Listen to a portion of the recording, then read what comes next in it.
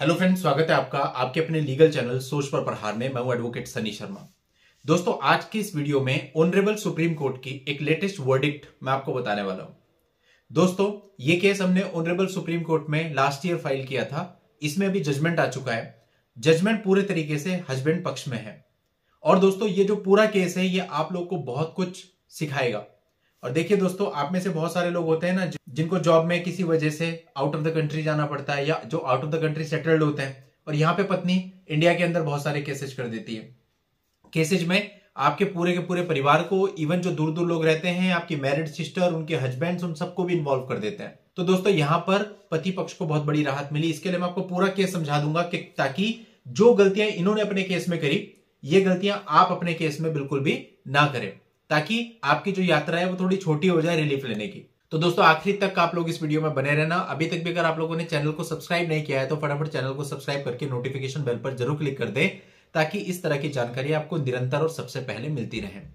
देखिए, इस केस में सबसे पहले जो ये क्लाइंट थे, इन्होंने मैं कंसल्ट किया कि हमारे ऊपर 498 का केस चल रहा है और हमने एफआईआर क्वेश्चन फ़ाइल की हुई है महाराष्ट्र हाईकोर्ट में।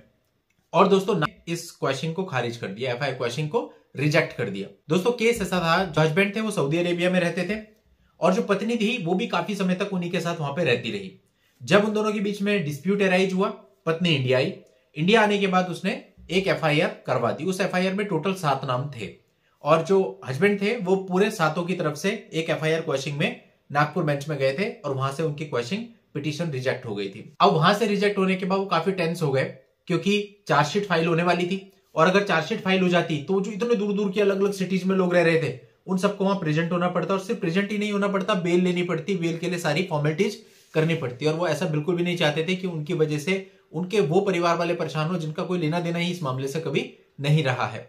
अब हमने उनसे जो वो रिजेक्शन था क्वेश्चन का, उसका ऑर्डर मंगवाया, उस ऑर्डर को पढ़ा। अब चूँकि दोस्तों हाईकोर्ट ने क्वेश्चन खारिज करी थी तो हमें तो उसी ऑर्डर के अगेंस्ट जाना था, यानी एज इट इज़ उस चीज़ को हमें ऑनरेबल सुप्रीम कोर्ट में चैलेंज करना था। तो हमने उसको ऑनरेबल सुप्रीम कोर्ट में जब चैलेंज किया, उससे पहले कम से कम एक महीना जो वर्किंग थी वो ड्राफ्टिंग पे की गई। और ड्राफ्टिंग को क्लाइंट के साथ शेयर किया गया क्लाइंट ने भी अपने इनपुट दिया हमने इनपुट दिया कई बार आदान प्रदान उतारा। और एक समय ऐसा आया जब क्लाइंट और हम दोनों उस ड्राफ्टिंग से सेटिस्फाई हुए। मैं आपको हमेशा बताता हूँ कि ड्राफ्टिंग आपके केस की जान होती है।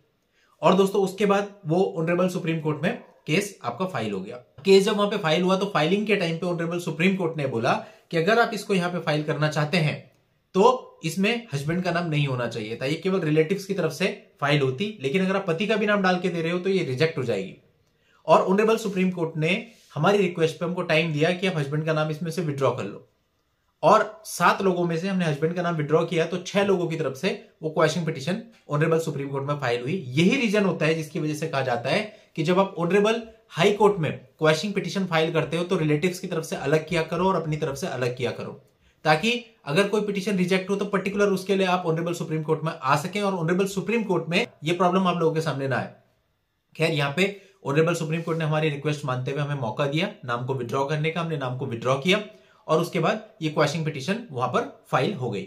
अब दोस्तों, दूसरी पार्टी को नोटिस इश्यू किए गए, उनका जवाब आया और जवाब आने के बाद जब फाइनल आर्ग्यूमेंट इस पर सुने गए तो फाइनल आर्ग्यूमेंट के बाद ऑनरेबल सुप्रीम कोर्ट ने पाया कि इस एफआईआर के अंदर जिन लोगों के नाम लिखे गए हैं, उनके ऊपर जो एलिगेशन लगाए गए हैं, वो बिल्कुल जनरल है। यानी, वो लोग कभी साथ रहे नहीं। आप सऊदी अरेबिया में रहते थे, वो इंडिया के अलग अलग प्लेसेस पे रह रहे हैं, और आपने उन पे एलिगेशन लगा रखे हैं टॉर्चर के जिसमें कोई समय, कोई दिनांक कुछ भी मेंशन नहीं है, कुछ स्पेसिफिक नहीं है, किसने क्या किया। मतलब बस साफ़ पता चल रहा है कि इन लोगों को आपको रोप करना था, इस वजह से आपने नाम डाल दिए। तो ऑनरेबल सुप्रीम कोर्ट ने माना, ये जो एलिगेशन है, इस तरह के एलिगेशन से मुकदमा इन लोगों पर नहीं चल सकता है। और ऑनरेबल सुप्रीम कोर्ट ने हमारी जो एसएलपी थी, उसको एक्सेप्ट कर लिया और छह के छह नाम क्वेश कर दिए, सभी के नाम हटा दिए। अब केवल जो हस्बैंड है, वो अकेला ही इस मामले में एक्यूज है।